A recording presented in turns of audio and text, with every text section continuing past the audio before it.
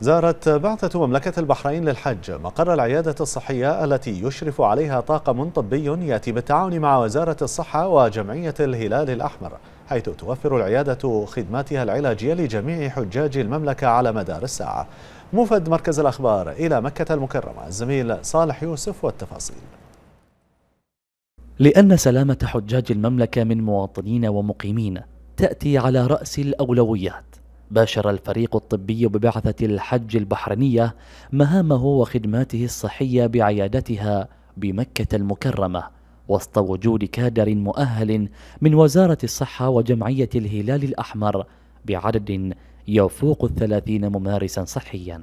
تم توفير طاقم طبي مؤهل آه، يرافق حجاج بيت الله الحرام في مكة المكرمة يتكون من 32 آه، من طبيب وتمريض ومسعفين وإداريين بالإضافة إلى آه، طاقم التفتيش.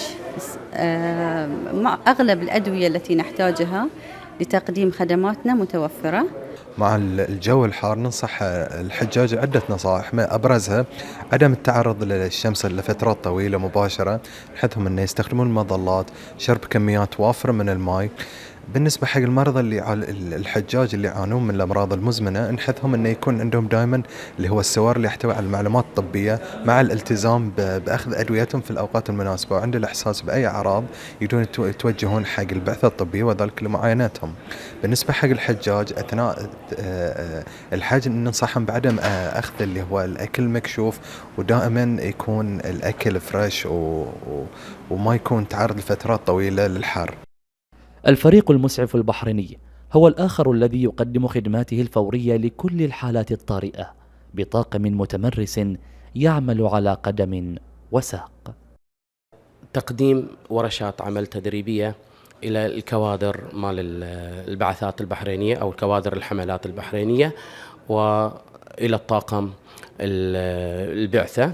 أيضا تقديم ورشات عمل إليها وإسعاف المصابين ونقل المصابين من البعثة إلى مركز النور التخصصي ومن ضمن الخدمات أيضا تفويج الحجاج إلى المشاعر المقدسة طبعا آه، لخدمة آه، بيت آه، حجاج بيت الله الحرام.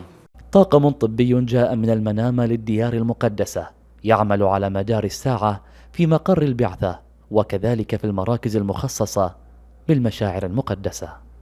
كفوف عانقت بعضها. فأثمرت أناملها خدمات طبية متفوقة وناجحة تليق بسمعة البحرين ومكانتها. لتلفزيون البحرين صالح يوسف من مكة المكرمة.